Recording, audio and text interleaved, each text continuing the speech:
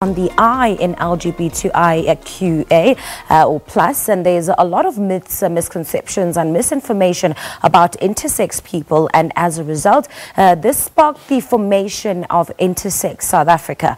Now, this is an organization that provides a safe space for the development of an intersex voice in Southern Africa and to combat discrimination on such grounds. So, uh, ahead of Intersex Awareness Day taking place next weekend, as well as International Intersex Intersex Solidarity Day uh, that happens on November 8. We have invited ISA or ISSA activist Keitumetse Skonta who joins us in our Kimberley studios. A very good morning to you Kitumedzi and thank you so much for making the time uh, to come on the show this morning.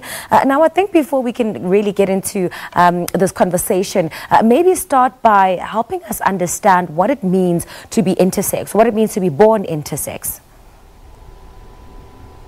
Okay, uh, could you please repeat the question like it? What does it mean um, in your terms, as far as your understanding, to be born intersex? Being born intersex means being born with sex characteristics that does not fit the typical definitions of male or female, but that fits the variety of bodily could you hear me? Yes, I can hear you perfectly. Please continue. Okay.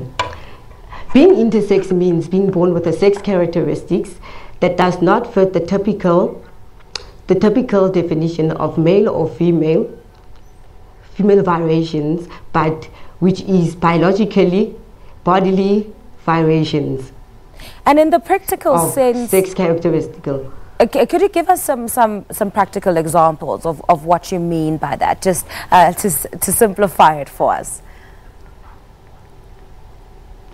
Okay. The practical examples of, of simplifying all this means that most people think that when you're born intersex, you were born with both genitalia that is both functional and such misconceptions lead to leads to assumptions and assumptions leads to curiosity whereby people would want to know whether both genitalia are functional I see. All right, so Intersex South Africa was founded by the late Sally Gross almost 20 years ago. We now fast forward to 2019. What, what strides do you think have been made thus far in creating awareness about understanding intersex persons, if there's been enough awareness to begin with? Okay, as ISA, ISA engages in a lot of activities where they raise awareness of the existence of intersex people, which, which creates, which includes media visibility,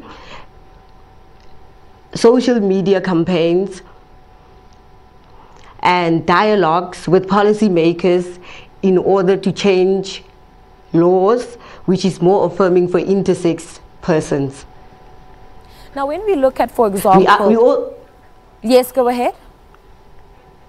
We also work with other organizations who, sens who sensitize who sensitizes in who sensitizes in working with intersex individuals who also helps us with outreach programs and helps us reach reach our our goals as helping intersex people intersex people in order to create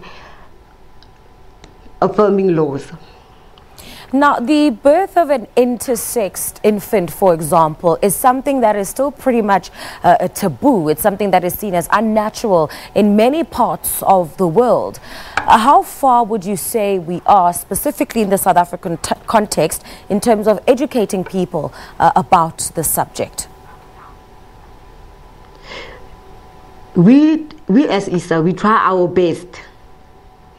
We try our best to inform the public about intersex births that they are just a natural body diversity.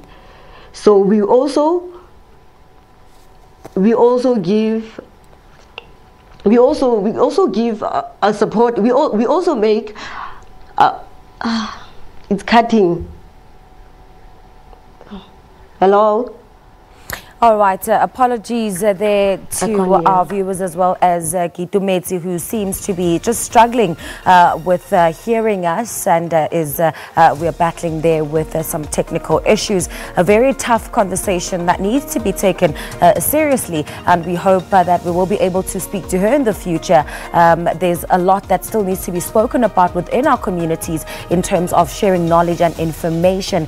now, we were chatting to Kitu um, who is from Intersex South Africa, um, and we were talking about what it means to be born intersex in this country. We take a quick break. Uh, do stay with us on Morning Live.